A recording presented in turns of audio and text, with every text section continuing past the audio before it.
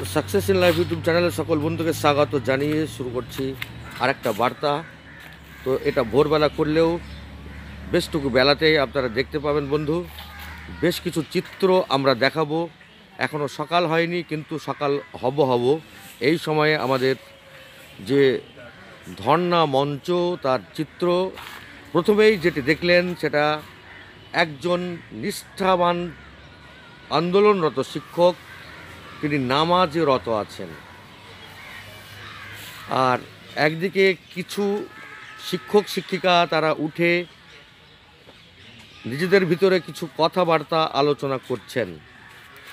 আবার কোনো কোনো শিক্ষক, শিক্ষিকা একটু দুশ্চিন্তাগ্রস্ত যে বারে বারে শিক্ষক, শিক্ষিকাদের ডেকেও তারা আসছেন না। তো সব মিলিয়ে যেটা বলব সেটা হচ্ছে মানে বৈচিত্র্যের মধ্যে যে ঐক্য সেটাই হচ্ছে পার্শ্বশিক্ষক ঐক্য মঞ্চের সব থেকে বড় বৈশিষ্ট্য।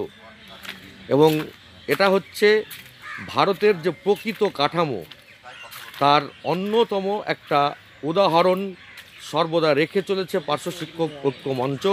এবং সেই মঞ্চই কিন্তু বঞ্চনার অবসান ঘটানোর জন্যে গত বছর যেমনভাবে সমস্ত পার্শ্ব শিক্ষককে রাস্তায় নামাতে পেরেছিল, আমরা বিশ্বাস করি আবারও সমস্ত পার্শ্ব শিক্ষক, শিক্ষিকা, ঐক্য মঞ্চের ডাকে ভগীরথ ঘোষ মধুমিতা ব্যানার্জি দিদি মনো- মনোরঞ্জন বাবু, এই সমস্ত নেতৃত্বের ডাকে সাড়া দিয়ে এই মঞ্চকে ভরিয়ে তুলে অতি দ্রুত দাবি আদায় করে ঘরে ফিরব, এটাই আশা করছি। এখনও পর্যন্ত যে সমস্ত বন্ধু ভাবছেন, আসব কি, আসব না, যাব কি, যাব না? তাদেরকে বলব, বন্ধু, একটু বিবেকটাকে জাগ্রত করুন আর যদি আপনার বিবেকের মানে যে বদ্ধ দরজা, তার যদি ঘা দিতে হয়, তাহলে সাকসেস ইন লাইফ ইউটিউব চ্যানেলটি আপনাকে দেখতে হবে। একদিকে যেমন মানে এক একজন এক এক রকম কাজে ব্যস্ত, এইদিকে দেখেন, খবর দেখছে সম্ভবত, খবর চলছে কি, দুজন বন্ধু একসাথে দেখছে নিবিষ্ট চিত্তে, আর এই সাইডে দেখাবো যে সাউন্ড স্লিপ মানে নাক ডেকে ডেকে যেন স্বর্গে ঘুমিয়ে আছে। এরকমটাই ভাব তিনি যে বিকাশ ভবনের ফুটপাথে একবারে প্রচণ্ড কনকনে ঠান্ডায় শুয়ে আছে, সেটা কিন্তু বোঝাই যাচ্ছে না নাক ডাকার এবং তার ঘুমের ভঙ্গিমা দেখে। অর্থাৎ বন্ধু যেটা ভাবছেন যে ওখানে গেলে ঘুম হবে না, সারা রাত মশার কামড় খেতে হবে হ্যাঁ খেতে পাবো না, ইত্যাদি ইত্যাদি, এরকম যারা ভাবছেন, আমি বলব সেরকম ভাবনার কোনো বিষয় নেই বন্ধু। এবং আমরা বাড়িতে যেভাবে থাকি তার থেকে বহু বহু গুণ ভালো থাকতে পারব এখানে এবং সারা দিনটা আপনার একটা জমকালো অনুষ্ঠানের মধ্যে দিয়ে যাবে।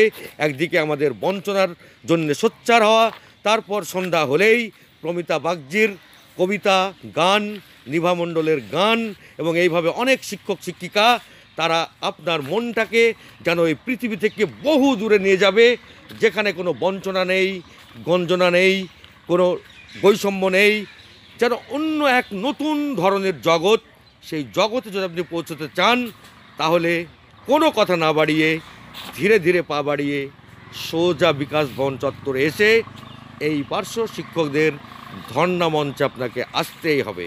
তো তার মধ্যে একটা ব্রেকিং নিউজ, যে যদি আপনারা আসতে পারেন, তাহলে বেতন কাঠামোটা কিন্তু এবার নিয়ে যাওয়াই হবে এবং বাড়ি থাকলেও আপনি বেতন কাঠামোটা পাবেন এখানে কোনো চিন্তা নেই।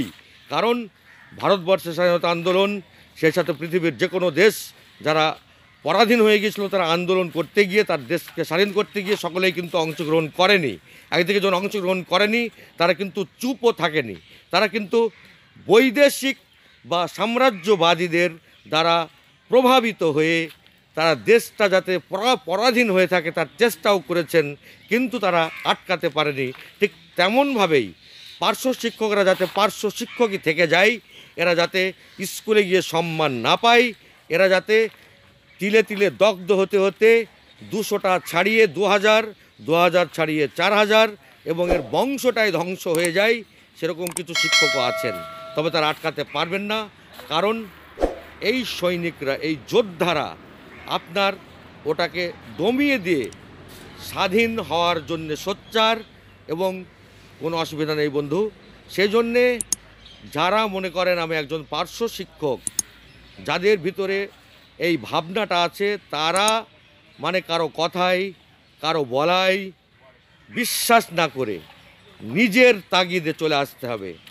বন্ধু জেনে আমি এখানে আসলাম, আমাকে কিন্তু কেউ ডাকেনি যে আসতেই হবে, কোনো প্রেশারও দেয়নি। আমি কিন্তু নিজের গরজেই, নিজের খরচেই এখানে এসেছি, এখনও পর্যন্ত বাড়ি যাইনি।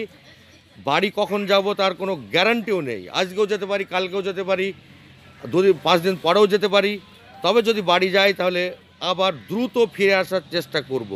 সেজন্যে আপনাদেরকে অনুরোধ করব যে এমন একটা সন্ধিক্ষণে গত বছর যেমন মানে স্বতঃস্ফূর্তভাবে এসেছিলেন, আবারও বলব স্বতঃস্ফূর্তভাবে আসতে এবং আমরা কিন্তু প্রতিজ্ঞাবদ্ধ, দাবি আদায় না করে ঘরে ফিরছি না, এই মঞ্চ কিন্তু চলবে।